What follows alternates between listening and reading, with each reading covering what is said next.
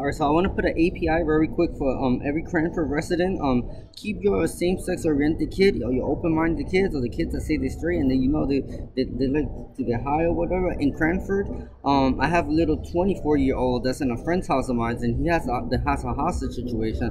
Trying to say that that um uh, Tony sends these Cranford kids and this Woodbridge kids to New York City with a little quarter and he's like, here you go, a little quarter, and you go smoke them out and you go offer my product and that um all Cranford and Cranford police and everybody please put an API. It's only 4,008 4,800 people in Cranford, 8,000 people in Cranford, 8,400 people in Cranford. Um, I'm tired of these Hartford. And I'm gonna call Cranford Transylvania because these little these little privileged Cranford kids, Democrat kids, are crazy bitches. Trust me, they act like trannies. They're very persistent, pushy ass bitches like Tony. Tony has them trained very well. Um, th- that's why no one in Har- and no one in Cranford has ever been accepted to Harvard University.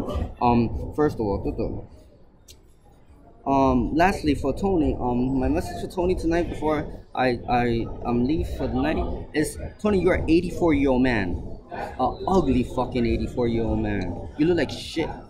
You look like shit that shitted on shit. We don't like you. You're not smart. You're not intellectual. You don't know a little bit about everything. You're a piece of shit. And leave us alone. Ask God to take you.